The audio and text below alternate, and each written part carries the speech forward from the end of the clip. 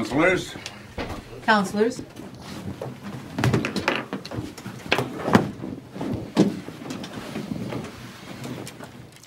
Let's be honest here. $20 million is more money than these people have ever dreamed of. Oh, see, now that pisses me off.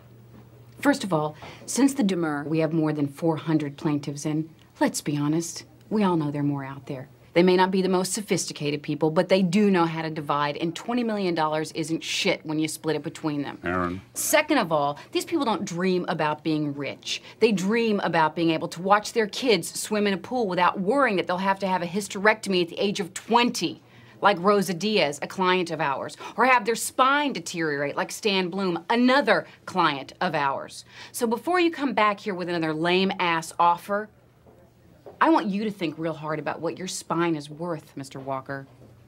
Or what you might expect someone to pay you for your uterus, Miss Sanchez. Then you take out your calculator and you multiply that number by a hundred. Anything less than that is a waste of our time.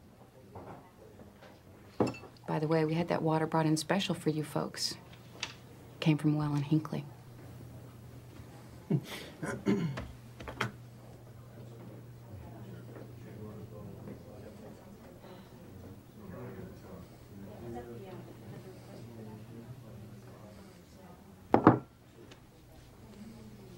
I think this meeting's over.